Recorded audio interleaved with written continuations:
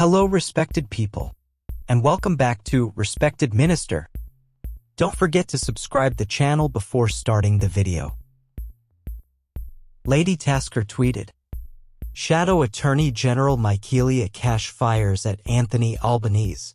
Michaelia Cash said a competent government would continually be working with officials and with their legal drafters to put in place legislative responses.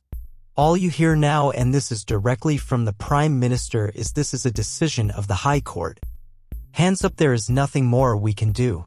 It is totally shambolic and I have to say what we saw on Friday with the admission. That they had literally lost control of this portfolio. Really to say these two ministers should not be holding these portfolios. The Prime Minister has given up on the security of Australia. Do you agree with Michaelia Cash?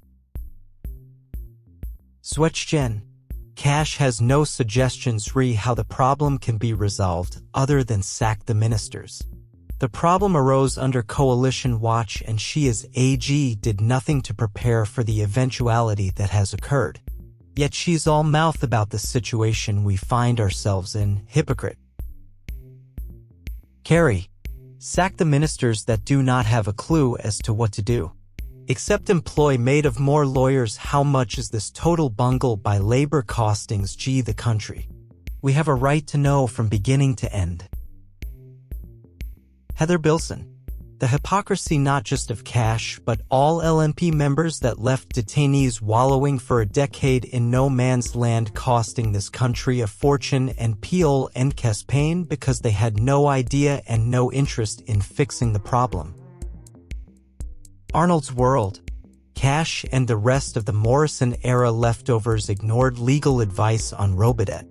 Dutton ignored legal advice when he stripped Benbrika of his citizenship which was subsequently deemed illegal by High Court. Opinions of LNP leftover on legal matters should be ignored. Peter. Michaelia Cash, great advice about working with officials and legal drafters. Pity LNP avoided doing so for most of the 10 years they were in power. Malcolm, considering the chaos and unconstitutional laws implemented by her governments, I'm surprised Senator Cash has not tendered her resignation from the Senate. The officials she talks about are probably the same, so some time to fix the law to meet the requirements of the High Court. That concludes our analysis of the Twitter exchange. Share your opinions in the comments below. If you found this video insightful, give it a thumbs up, share it with your fellow political enthusiasts, and subscribe for more in-depth discussions on Australians politics. Thanks for being with us on Respected Minister, and we'll catch you in the next video. Stay engaged and stay informed.